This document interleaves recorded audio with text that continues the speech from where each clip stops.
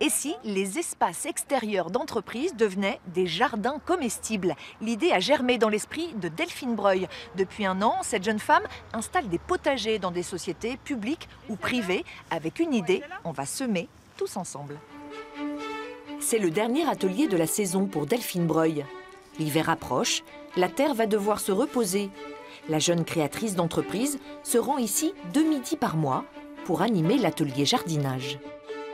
Bah là aujourd'hui il y a pas mal de choses. Donc euh, il y a des plantations. Donc là j'ai ramené de la salade d'hiver. J'ai ramené aussi la mâche. On va faire de la récolte de, de poireaux, blettes encore. Donc à un moment donné vous allez détester la blette avec moi. Delphine a créé ce potager au sein de l'entreprise Auril en avril dernier, une entreprise engagée dans une démarche de développement durable. Depuis le printemps, des centaines de légumes et d'aromatiques ont poussé sur ces allées, bichonnés au quotidien par une trentaine de salariés.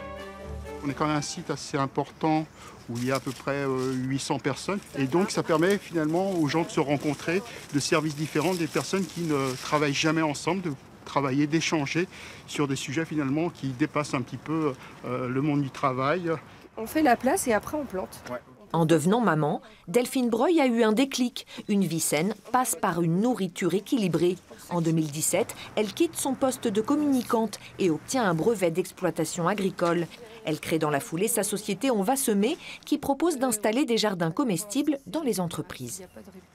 Au lieu de se retrouver autour d'une machine à café ou en salle de réunion ou sur un dossier, là on sort des murs. Des scientifiques euh, expliquent que toucher euh, la terre, eh bien, ça, va, permettre de sécréter euh, des hormones comme de la dopamine. Donc voilà, on, sait bien que, que c'est bénéfique pour la santé et le bien-être au travail. Aucun pesticide n'est déversé dans ce jardin participatif. Les petits mots des végétaux sont traités à coups de purin de feuilles de rhubarbe ou d'ortie. Les légumes sont ensuite distribués équitablement entre les apprentis jardiniers, ravis de collaborer à ce potager. On échange ensemble, on commence à s'échanger des graines, on s'échange des bonnes astuces et euh, c'est vraiment sympa quoi. Parce qu'après, on a aussi, ça ouvre aussi l'esprit à se mettre au jardin chez soi. C'est sympa, ça coupe bien la journée. Delphine, a euh, apporté pas mal de, conseils en jardinage, euh, euh, des fiches techniques aussi. C'est super intéressant.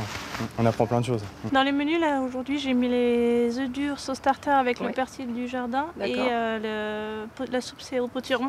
Anna vient faire son marché du jour, car les légumes du jardin figurent régulièrement au menu du restaurant de l'entreprise.